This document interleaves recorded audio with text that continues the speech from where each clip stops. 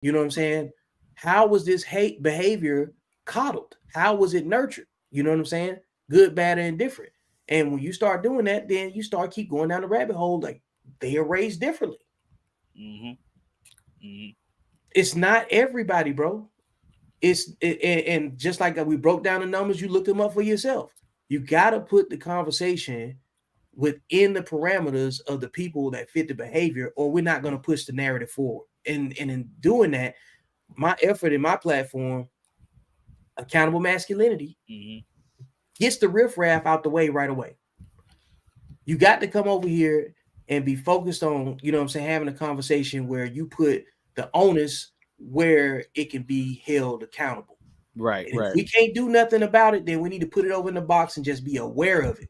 Right. It ain't our it ain't our obligation to fix it, but it's our obligation to have a conversation that differs from from the behavior that we see it.